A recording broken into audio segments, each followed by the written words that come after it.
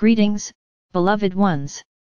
We are sending you blessings of love and light, in this now moment, and we are inviting you to open your heart to our message for you. Beloved one, as you are moving through your ascension journey, you will be able to shift your perception of reality. You will be able to realize how quickly the illusion is changing, depending on your inner world. When you begin to heal your inner world, so will your outer world be healed. More and more aspects of the ego illusion will disappear and more and more aspects of God's love and peace will enter your experience. In truth, you are the embodiment of God's love and peace. It is only covered by the ego mind through keeping you in fear and, more importantly, distracted from finding out about your truth.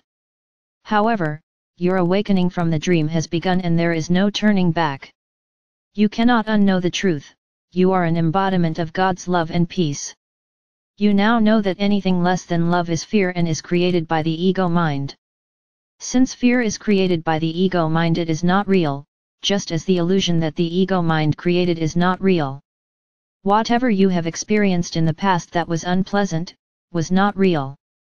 It was part of the illusion to keep you in fear.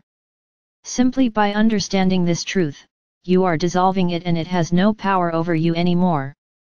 Now, forgiveness can take place and then, a complete forgetting. It never happened.